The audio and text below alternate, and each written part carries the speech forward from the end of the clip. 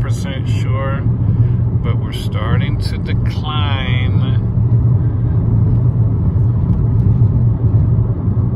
I think we're coming to the Chewelah Slide. If not, this is that curvy part before we get to the Chewelah Slide.